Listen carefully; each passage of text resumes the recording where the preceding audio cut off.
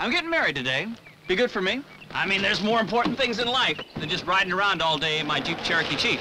Taking those turns with that great handling, powering up those steep hills, stepping over rocks with Cherokee Chief's fantastic ground clearance, being admired as I drive my Jeep Cherokee Chief. Hey, what if my new wife wants me to get rid of it? Jeep Cherokee Chief! What a wonderful wedding present! Come to Jeep Country in a Jeep Cherokee Chief. We wrote the book on four-wheel drive.